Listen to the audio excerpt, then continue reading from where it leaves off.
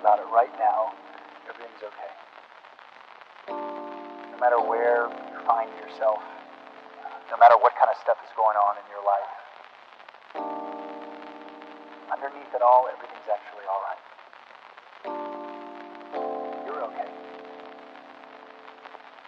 You have more power than you like to give yourself credit for. And if you have something that's going on in your life right now challenging, painful, it's just a reminder to take a little bit better care of yourself. You're worth it. You can have